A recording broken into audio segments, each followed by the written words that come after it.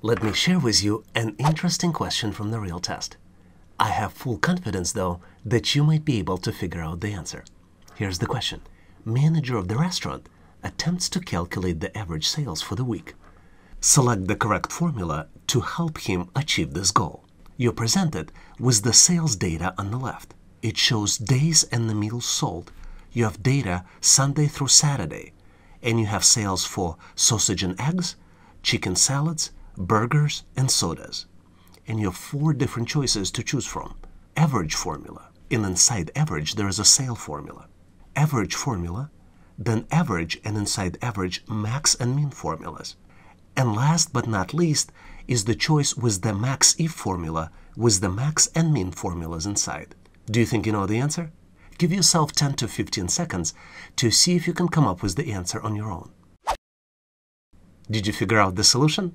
Let's continue to see how we can solve and get to the correct solution together. To help managers solve this challenge, we would need to use the average formula.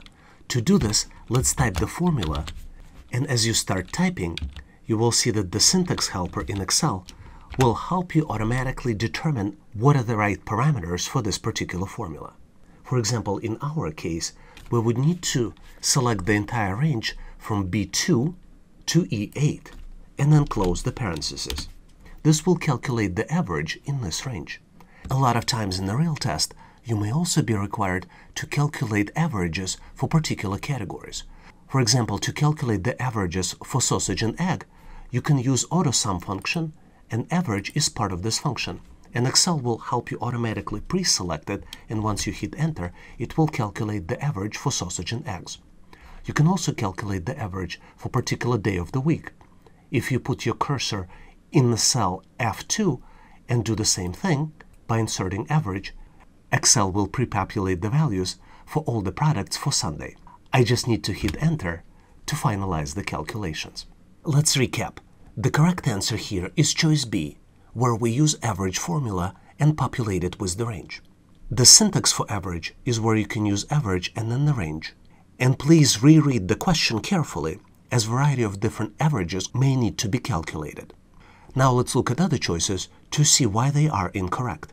Choice A, sale is an invalid function in Excel. Choice C is also invalid because it returns the average of extreme values in array.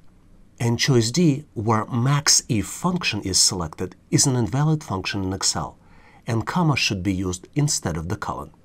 Hopefully you've nailed this question and now know how to answer similar problems in the test. But in case you need more questions or practice problems, please check out the description of this video for more information.